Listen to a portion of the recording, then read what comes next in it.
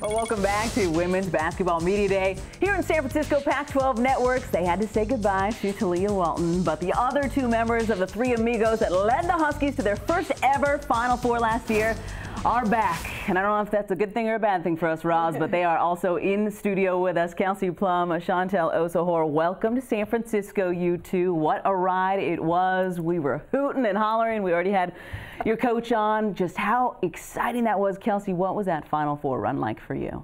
I mean, what an opportunity. We got to burst on the national scene. Um, you know, we've been talking about Chantel's video went viral mm-hmm. like a million, million times. Mm-hmm. Um, but it was, it was, to be honest, it was just an amazing experience. We got to learn from each other, we got to bond, and we're definitely taking that into this season.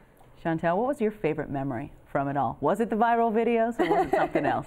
I heard you've been recognized in airports. They can't even walk anywhere with you. it's true. yeah, well, my favorite part was just being with my team and just experiencing that with my team. Um, it, it was something that I'll never forget, and it's because of them. You know, I remember final going to a Final Four, and people don't know all of the extraness that is there besides the game. I mean, mm-hmm. there's commercials you have to shoot, there's gift bags, there's signings. How did you guys n- make sure not to get lost in all of the circus and try to stay focused on the game, or was that hard to do? Well, to be honest, I think I did get a little bit lost in the circus personally. Uh, when we finally, you know, tipped off, it was almost like this it just hit me like mm. full full speed, right? Everything just caught up. Um, and you know, we didn't show our best game, but I think I had to step back after the journey and realize like how cool mm. was that run? No one expected that. It was 0.02 percent. And to be honest, um, when you believe in something and you go after it, you can really do it. And that's what I took away from it. Talking about believing in something, Kelsey, um, I know you were already good coming out of high school. You had a lot of top schools also recruiting you, but you chose to maybe not go with one with the biggest pedigree. You decided to go trust UW and build something there. And then you helped take the team to a Final Four. I mean, that's outstanding. Um, what, how fulfilling is it to, to realize that dream?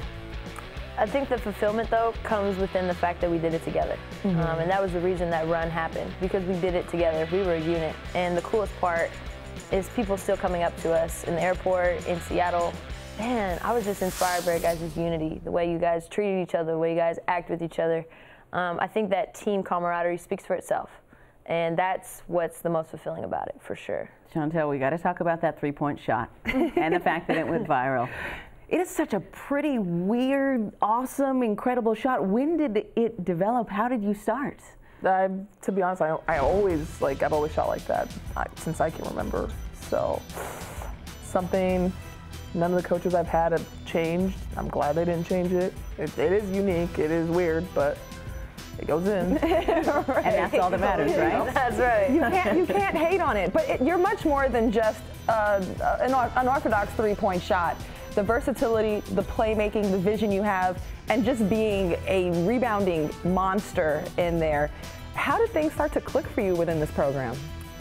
Um, I'd probably say maybe by like the end of my sophomore year, stuff started clicking for me, and then uh, preseason junior year, playing pretty well, and just my teammates, our chemistry together, they just always had confidence in me. So it was it was more of just like a team thing.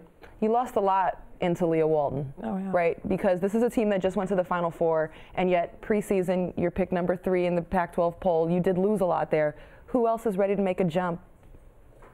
We have. Uh, five new incoming kids, uh, one transfer, four freshmen, and we're excited about the talent we have. We have enough talent to do things, and people questioned that last year, and we still did it. So I don't think it's necessarily about talent; it's about putting the pieces together. So that's kind of our job as leaders. Um, you know, as competitors, we can get feisty sometimes, but at the end of the day, roll it back together and be able to be a competitive family. You like having a chip on your shoulder. Dang right I do. Chantel, Kelsey. got one too. Thank you. Oh, we know. It's, a, it's just a little quieter of a chip, right? a little quieter of a chip. Thank you, too. Looking forward to the season in Seattle. Coming up next, the head coach of one of the defending co-champions here in the Pac-12 Conference, who also just happens to be the coach of one of the top 10 recruiting classes in the country.